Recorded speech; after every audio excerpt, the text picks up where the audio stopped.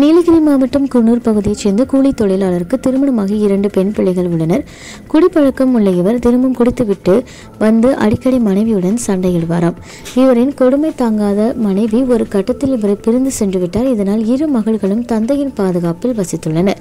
இந்த நிலையில் கடந்த இரண்டாயிரத்தி இருபத்தி இரண்டாம் ஆண்டு இரண்டாவது மகள் பள்ளிக்கு சென்ற நிலையில் பத்தாம் வகுப்பு படித்து வரும் தனது மூத்த மகளை வீட்டில் வைத்து பாலியல் வன்புணர்வு செய்துள்ளார்.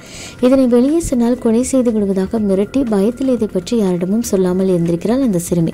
இதை சாதகமாக பயன்படுத்திய தந்தை பல முறை மகளை வன்புணர்வு செய்துள்ளார். ஒரு நாள் சிறுமி திடீரென மயங்கி விழுந்தபோது சிகிச்சைக்காக அரசு மருத்துவமனையில் அனுமதிக்கப்பட்டுள்ளார்.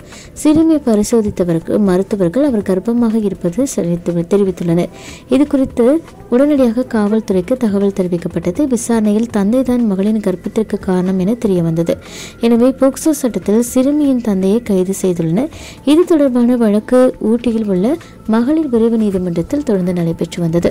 பெற்ற மகளை பாலியல் வன்புணர்வு செய்த தந்தைக்கு சாகும் வரை ஆயுள் தண்டனை விதித்து மகளிர் நீதிமன்ற நீதிபதி லிங்கம் உத்தரவிட்டுள்ளார். மேலும் பாதிக்கப்பட்ட சிறுமிக்கு தமிழக அரசிடமிருந்து பத்து லட்சம் இழப்பீடு பெற்றுத்தர மாவட்ட நிர்வாகத்திற்கு உத்தரவு பிறப்பித்துள்ளார். எங்களுடைய நிகழ்ச்சிகள் உங்களுக்கு பிடித்திருந்தால் உடனுக்குடன் கண்டு மகிழ. எமது சேனலை சப்ஸ்கிரைப் செய்து அருகே வரக்கூடிய பெல் பட்டனை அழுத்தவும் எங்களுடைய நிகழ்ச்சிகள் உங்களுக்கு மிகவும் பிடித்திருந்தால் உங்களுடைய நண்பர்களுக்கும் ஷேர் செய்யவும். நன்றி.